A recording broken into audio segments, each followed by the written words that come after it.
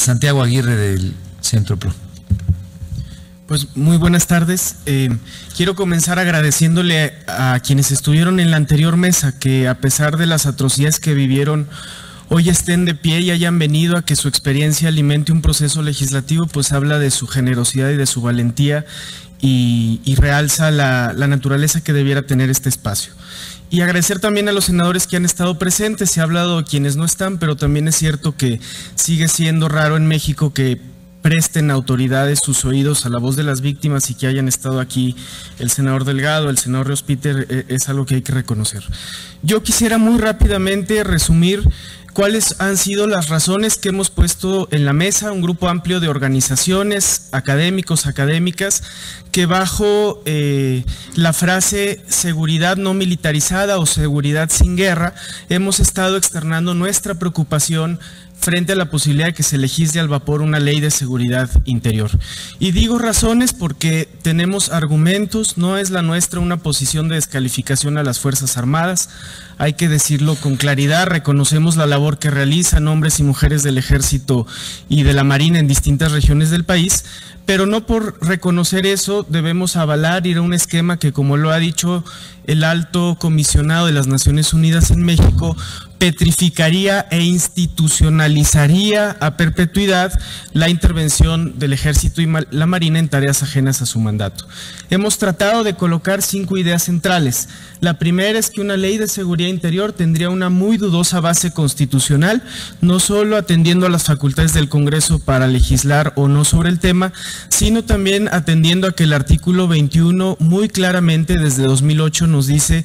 que las tareas de seguridad pública son fundamentalmente labores a cargo de autoridades civiles. Hemos dicho también que esta ley tendría serios problemas de inconvencionalidad, es decir, de incompatibilidad con los tratados internacionales, porque el concepto de seguridad interior, el concepto mismo, ha sido calificado por instancias como la Comisión Interamericana de Derechos Humanos como un concepto ambiguo, propio de regímenes autoritarios, que en sí mismo propicia la confusión de las tareas de seguridad nacional y seguridad pública.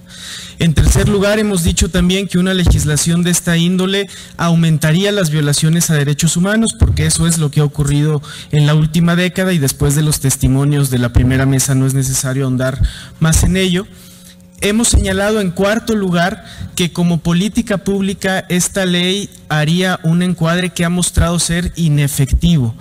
La evidencia generada por instancias como el CIDE y de nuevo los estudios de Laura Tuesta y sus colegas son fundamentales, muestra que la intervención intensiva del ejército en las regiones con más problemas de inseguridad del país, no solo no ha reducido la violencia, sino que hay indicación de que incluso en algunos casos la pudo haber aumentado. Decir hoy, a 10 años, lisa y llanamente, que el despliegue militar basta para reducir la violencia, no tiene soporte empírico, y eso hay que decirlo muy claramente.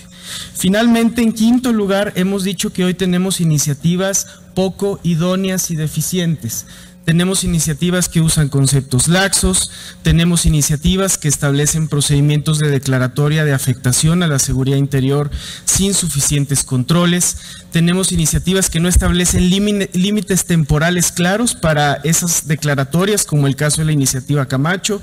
Tenemos iniciativas que abiertamente proponen sustituir las labores de investigación de los delitos y no solo las policiales, como es el caso de la iniciativa del senador Gil en su artículo 29.